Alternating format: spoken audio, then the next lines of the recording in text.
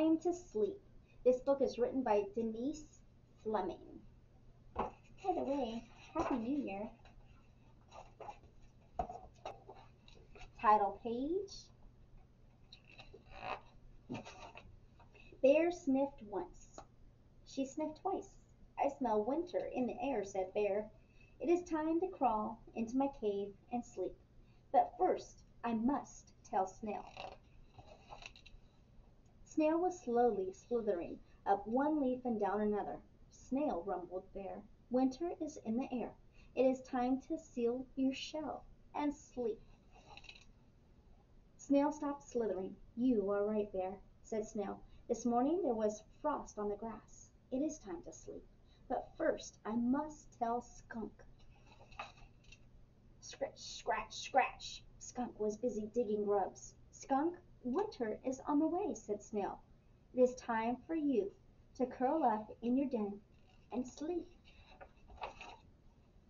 Skunk looked up. The leaves on the trees were yellow and red. All right, said Skunk. I will sleep, but first I must tell Turtle. Turtle was off on a ramble.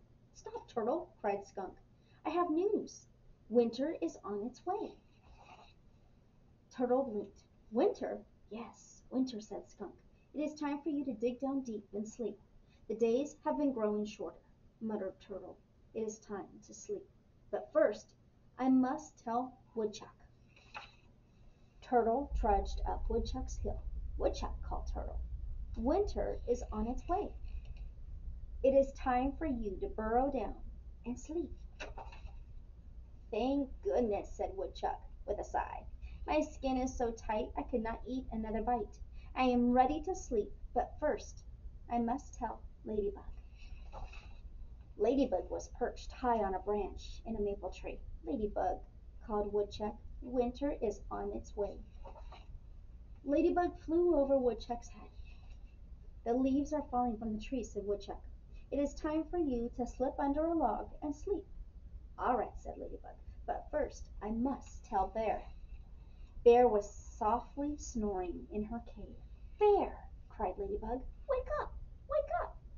Bear grumbled and rolled over. The sky is full of geese. Honking goodbye, cried Ladybug. Winter is on its way, Bear. Bear opened one eye. Then she opened the other eye. What? growled Bear. It is time to crawl into your cave and sleep, said Ladybug. Ladybug, grumbled Bear, I am in my cave. I was asleep. Oh dear, said Ladybug. I am so sorry, Bear.